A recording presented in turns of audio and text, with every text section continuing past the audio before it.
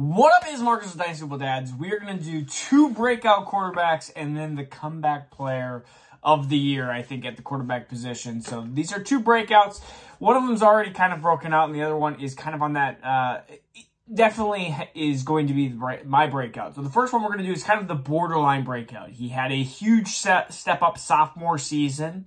He's 23 years old. His first name is William. You might be going through your head going, who the heck is William? Who the heck is William?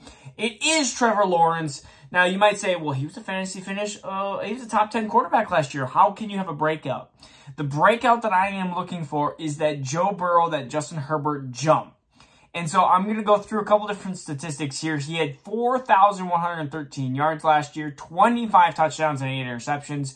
Gets the addition to Calvin Ridley. He still has Christian Kirk, still has Evan Engram. He still has, again, Travis Etienne out of the backfield.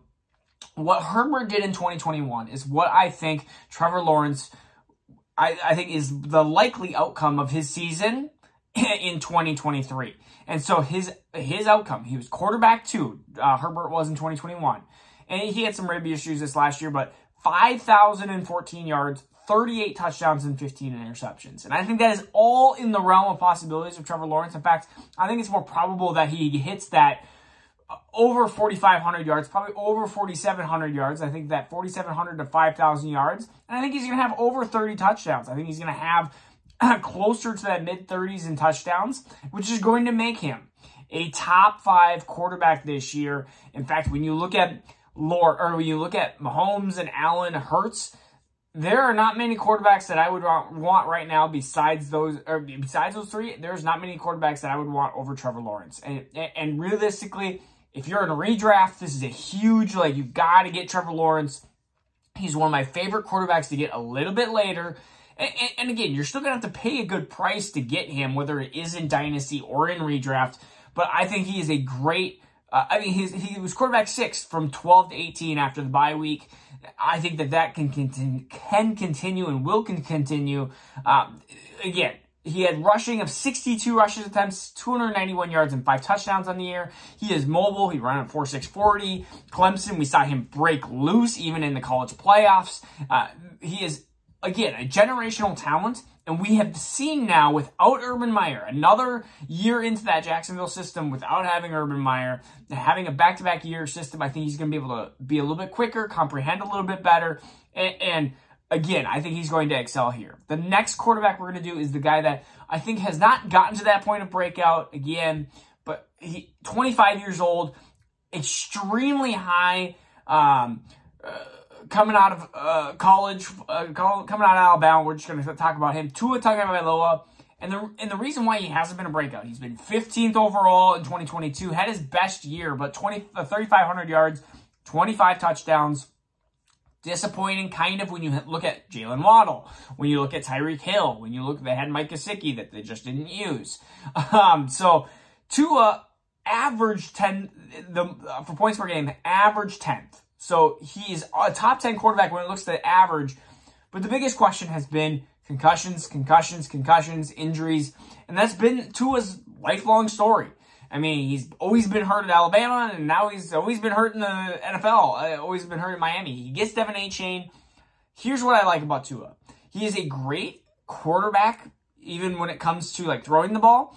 But his receivers are so good after the catch, and he's gonna have a running back that is so fast that he doesn't have to do much. He just has to get it in their hands and they can do the rest. How many times did you see Tua throw a 10 yard pass that ended up being a 70 yard touchdown from Tyreek, from Waddle, and now will be De'Von Achane.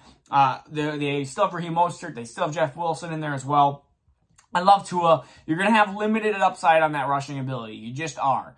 But passing wise, I, I still think he is one the quarterback that I am banking on that goes from that quarterback 15 that goes to quarterback 8. Like that quarterback 7, quarterback 8. Like I see that in easily in the realm of possibilities. We've seen some crazy great games from Tua, the four touchdown games, the huge yardage games again because of the weapons that he has. Now we're going to go through the bounce back the candidate here. It is a tough one. It, it, it, I see potentially why people don't like this, but it's going to be Aaron Rodgers. It's a bounce back candidate because he's 39 years old and he's been kind of left for dead. Uh, 3,695 yards, 26 touchdowns, 12 interceptions. Super rare for him. Fantasy finish of 13.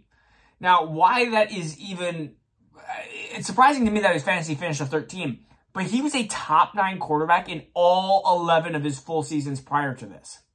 He's a top nine quarterback every year, every single dang year of his million year career, if he's healthy and doesn't have, and has at least a primary target. He did not have a primary target this year. He just didn't. He had a lot of young wide receivers that took a lot of time to develop. My thing, and I, it, trust is one of the biggest things, and rhythm is one of the biggest things in, in, in sports.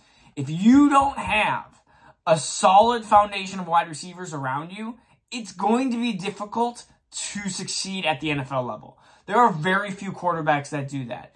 Even Patrick Mahomes, who doesn't have great wide receivers, has Travis Kelce, who is potentially one of the greatest tight ends of all time. You have Tom Brady. He's always had Gronk. He's had Evans. He's had Godwin. Even in New England, his best years have had Wes Welker or Julian Edelman. Somebody that somebody that he can have a foundation with. Aaron Rodgers is going to have Garrett Wilson, who is an excellent wide receiver. And I think Garrett Wilson is going to have an amazing year as well. He's going to have a huge sophomore jump up. It's why he's a top 10 dynasty wide receiver. Aaron Rodgers needs that. And let's look it through back into Favre's timeline here.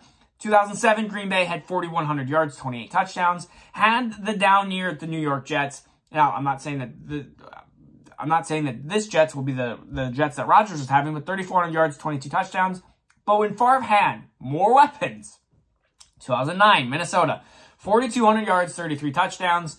That is my line for, for Favre. I think that he can gain 500 yards, and I think he can gain six, seven touchdowns.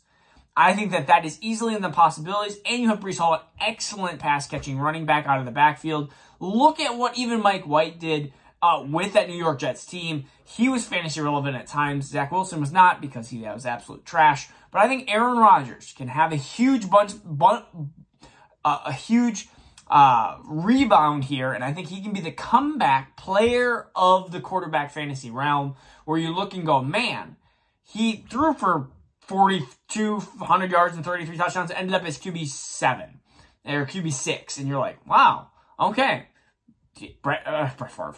Aaron Rodgers is back. So that is my best comeback players of the position and some breakouts here. Those are my three favorite ones for this 2023 season. Uh, I think dynasty-wise, I've been buying a lot of Trevor Lawrence. I've been buying a, a, a, a, ton of Trevor Lawrence. I've been buying a lot of Tua, and I've been actually buying some Aaron Rodgers as well. And so those are just three players that I absolutely have fallen in love with for the 2023 season. Again, long-term wise, Rodgers not going to be the greatest because he's 39 years old. But again, the other two, I am putting a lot of chips and money into those baskets. All right, this is Marcus Dynasty with Ads. Peace out. Take care. We'll see you again soon.